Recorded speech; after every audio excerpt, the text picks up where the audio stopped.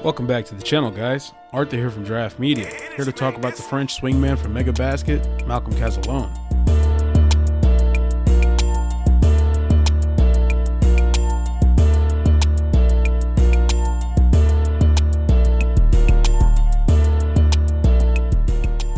Malcolm Cazalon is a 21 year old French combo guard who, as of December 1st, has been averaging nearly 14 points, 4 rebounds, and 3 assists over the span of 8 games.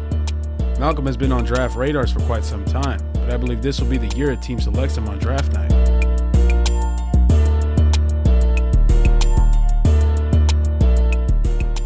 The Frenchman has looked really good in transition this season. He has shown off his athleticism and much improved composure. He has also filled out his frame really well and has the size to compete at an NBA level.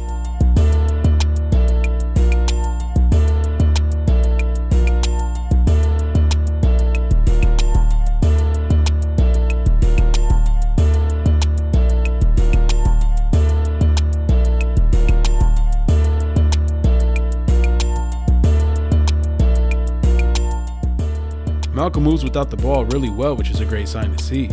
He will more than likely be a shooting guard in the NBA, so moving without the ball will play a vital role in his success.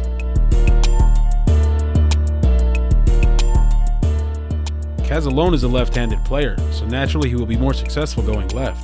He definitely is a lot more comfortable on that side of the basket and will look to attack left more often than not. We can see how composed his game is as he's able to follow through with these very tough finishes. He uses his shoulder to shield off defenders and create space without fouling. He thrives off the catch and in dribble handoff situations, two things that will be a major player in the NBA.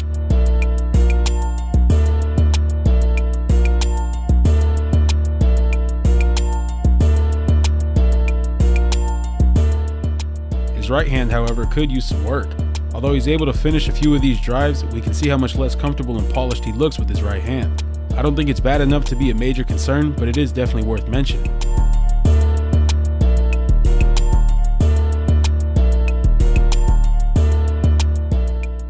Malcolm also does a good job at getting to the line, averaging close to 4 free throw attempts per game. However, he's shooting 67% from the free throw line, which definitely needs to improve.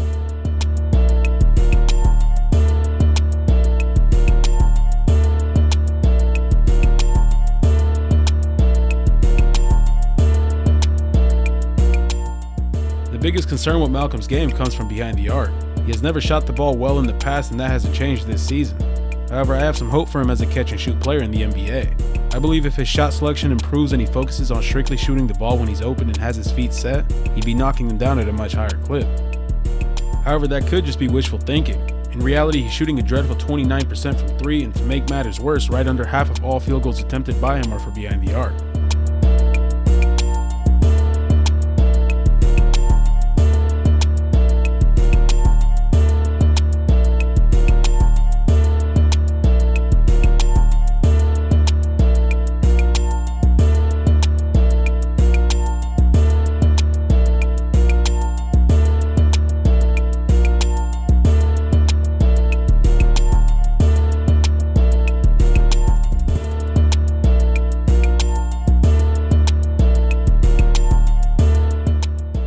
Malcolm has also struggled shooting off the dribble.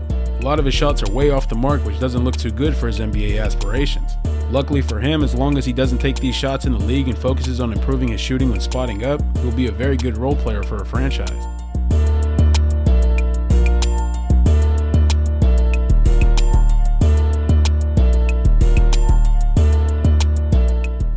Cazalon's shot has also been unsuccessful when he runs off screens. Struggles to set his feet in time and ends up falling after the shot both times because of it.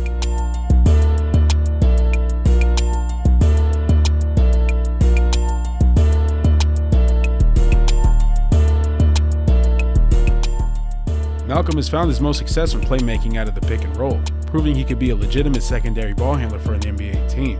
He can be a dynamic playmaker at times and displays his passing abilities with these assists.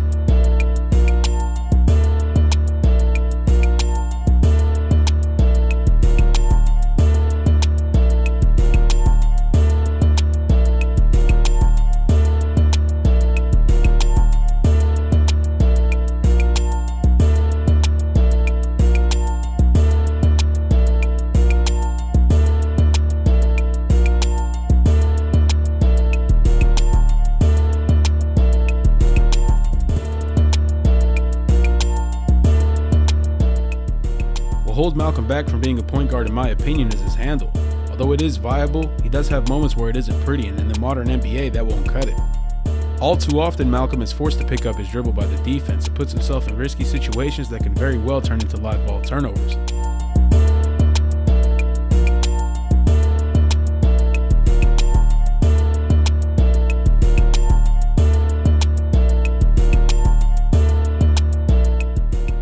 Cazalon has also struggled with ball security. He's averaging 2.4 turnovers a game, which nearly puts him at a 1 to 1 assist to turnover ratio.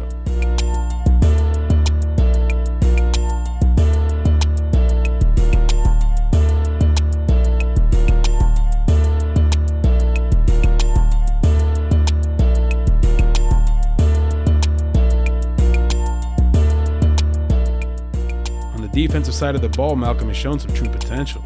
Brings that NBA ready 6'6 frame as well as a 6'11 wingspan, which helps him disrupt his opposition.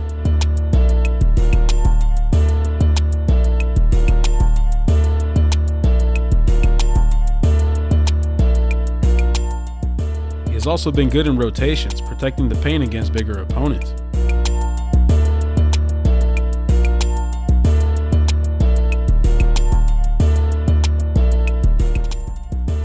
Malcolm thrives most is definitely in the passing lane. He's averaging two steals per game and uses his anticipation skills and long wingspan to create turnovers.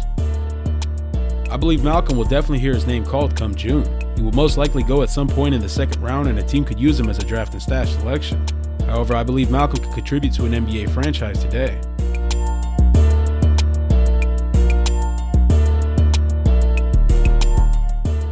My NBA comparison for him is Kenrich Williams player who is not elite in any trade, but makes winning plays and is decently well rounded. Like Williams, he brings secondary ball handling, defense, and finishing ability. Thank you guys for watching. Make sure to like the video and subscribe to the channel to join the Draft Media family.